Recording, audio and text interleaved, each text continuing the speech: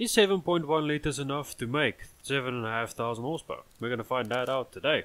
So what brought this video on in terms of the engine anyway? I was pondering around and messing with engines and I discovered, you know what, I've not done a V12 build in a while, so might as well do one, so yeah.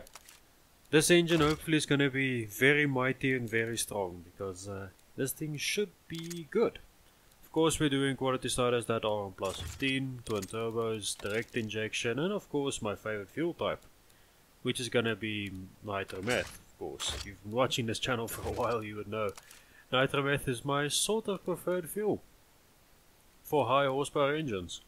And of course dual outlets with no cats and no mufflers. We don't do that stuff around here unless we're building a diesel engine. Diesel style engine. 9500 RPM should be enough for us to make a good amount of horsepower. Of course we are gonna address some issues right about now, like not selecting the smart boost control, which was a problem. And of course our turbocharger that is very restricted.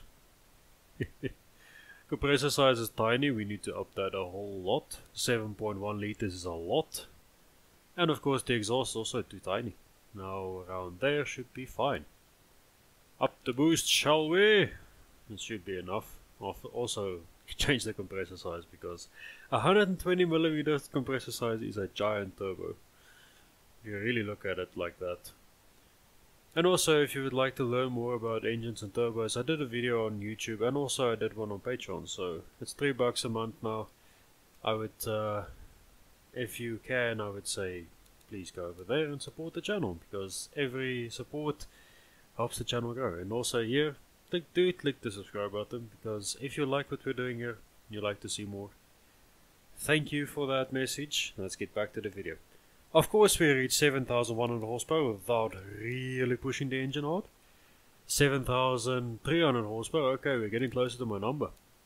Let's see if we can. I believe it's gonna be compression is gonna help us by lowering that a whole lot. We can't do too much because I see we're running out of power that way.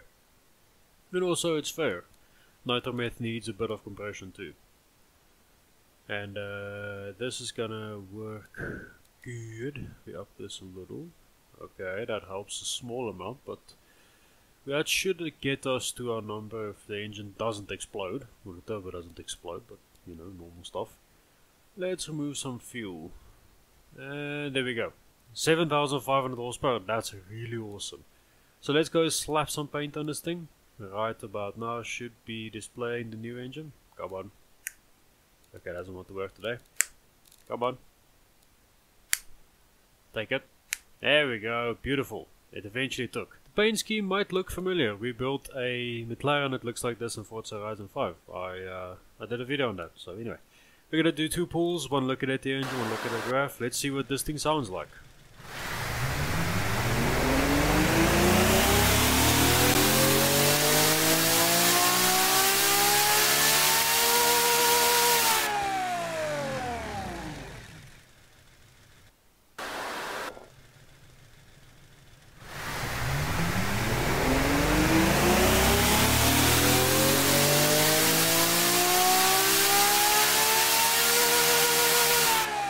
Yeah, this thing sounds absolutely insane. Thank you so much for watching, and I'll see you wonderful people next video. Thank you guys. Bye bye.